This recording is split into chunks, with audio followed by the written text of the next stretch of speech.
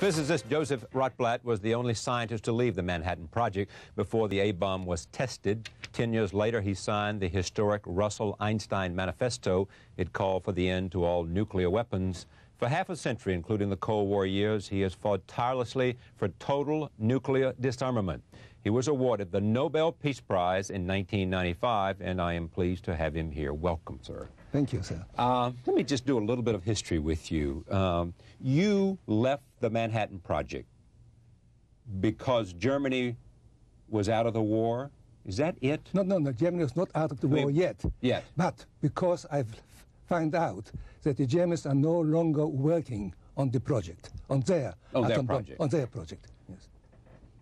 Is that it? Was that the reason? The only reason? The only reason, because the reason why I started to work on the project, the only reason why I started to work on the project is because I was afraid that the Germans may acquire the bomb, because the early work leading to the bomb was actually carried out in Germany.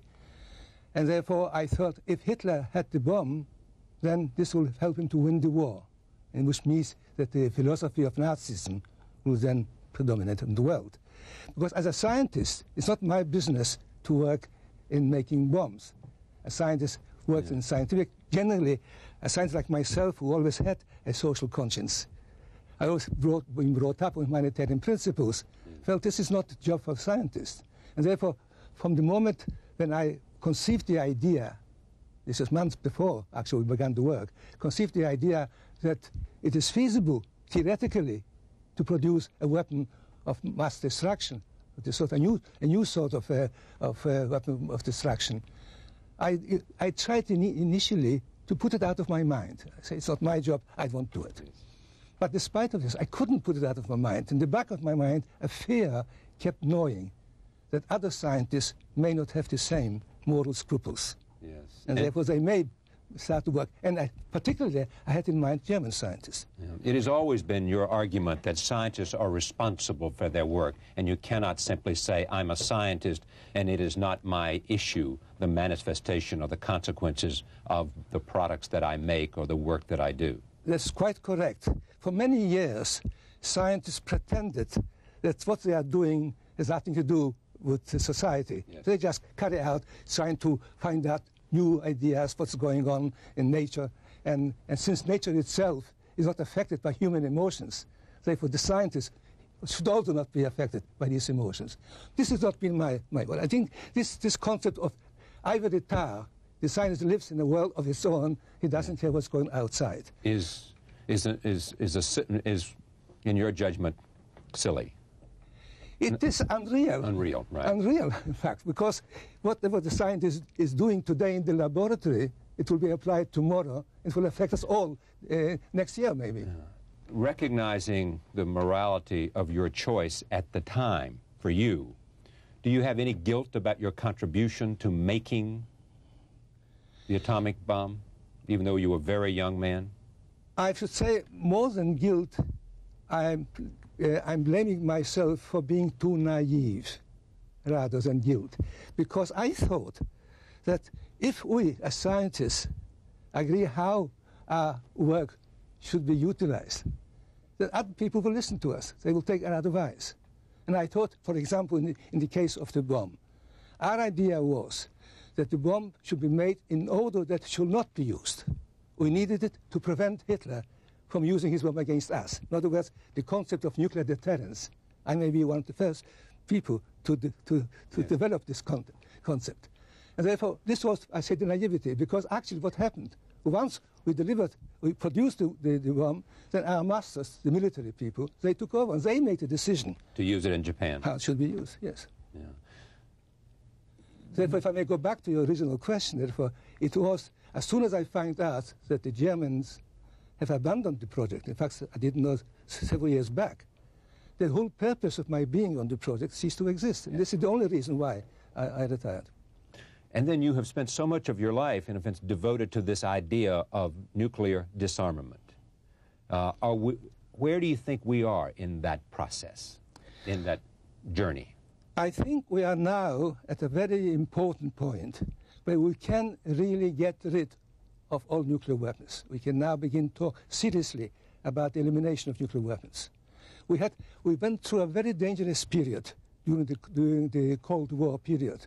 We had a nuclear arms race, the result of which, the, to build up an unbelievably large human, uh, nuclear arsenal. We had something like 70,000 nuclear warheads. If you add the, the ones in reserve, about 100,000. This is 100 times more than needed for any conceivable purpose. And this shows the madness which we had at that time, because we started off sort of the ideological struggle between East and the West, and in the science on both sides of the Iron Curtain.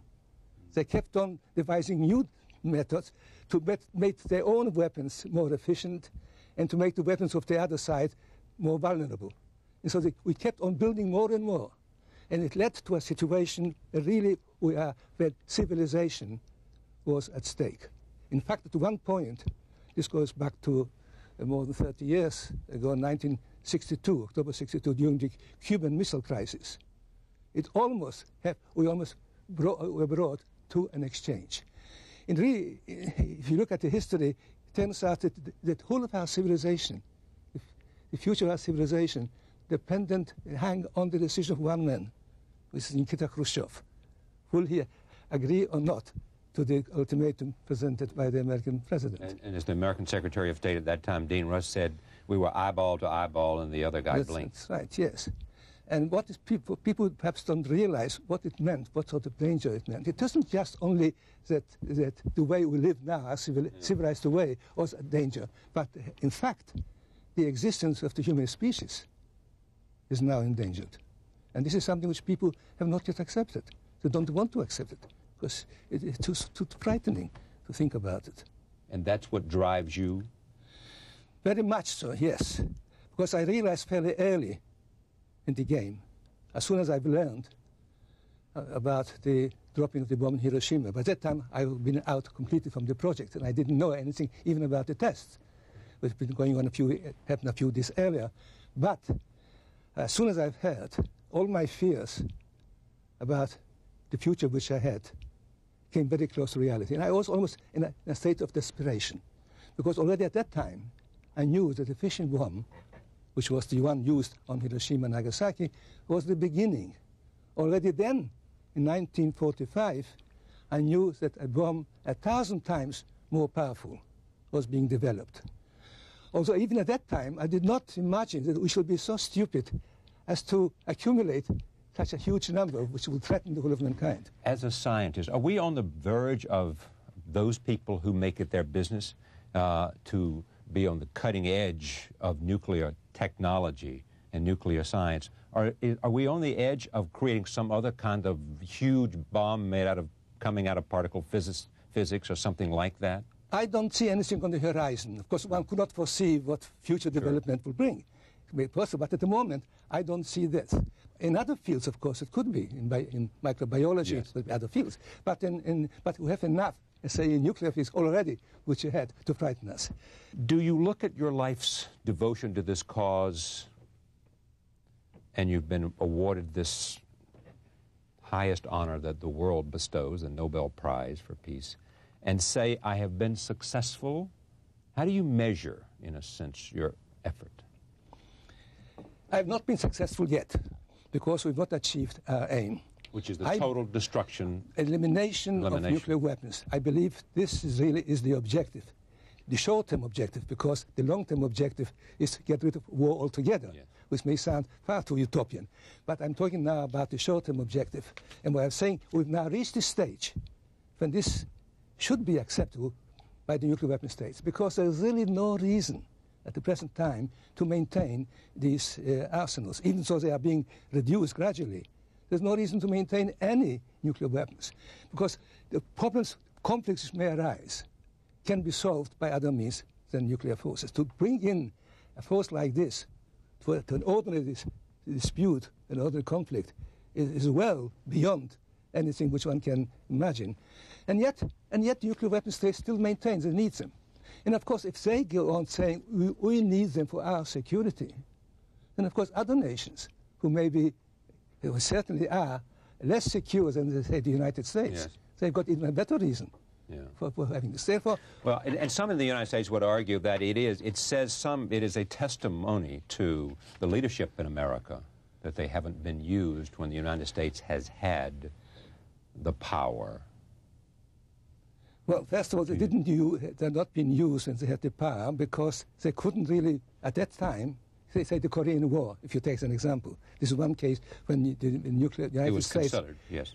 United States, not only this, but it still had the, the, the more enormous predominance in nuclear Yeah, weapons. more of a monopoly. Um, almost a monopoly at the time. And yet they've not been used because at that time the President Eisenhower felt he couldn't do this. We couldn't do it to the people uh, to, to try do again as, as, as we did in Hiroshima and Nagasaki. There was this inhibition already at that time.